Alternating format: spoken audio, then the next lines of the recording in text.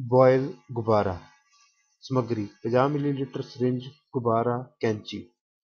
ਇੱਕ ਗੁਬਾਰੇ ਨੂੰ ਕੱਟ ਕੇ ਛੋਟਾ ਕਰ ਦਿਓ।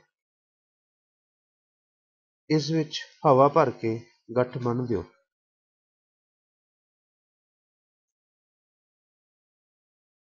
ਬਾਕੀ ਦਾ ਗੁਬਾਰਾ ਕੈਂਚੀ ਨਾਲ ਕੱਟ ਦਿਓ।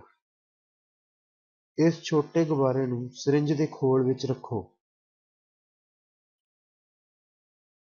ਪਿਸਟਨ ਲਗਾਓ ਤੇ ਇਹ ਧਿਆਨ ਰੱਖੋ ਕਿ ਗੁਬਾਰੇ ਦੇ ਫੈਲਣ ਲਈ ਕਾਫੀ ਜਗ੍ਹਾ ਹੈ।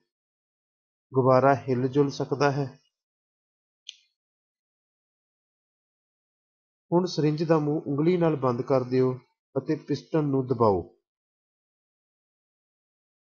ਤੁਸੀਂ ਦੇਖੋਗੇ ਕਿ ਜਿਵੇਂ ਜਿਵੇਂ ਸਰਿੰਜ ਅੰਦਰ ਹਵਾ ਦਾ ਦਬਾਅ ਵੱਧਦਾ ਹੈ, ਗੁਬਾਰੇ ਦਾ ਆਕਾਰ ਛੋਟਾ ਹੁੰਦਾ ਜਾਂਦਾ ਹੈ।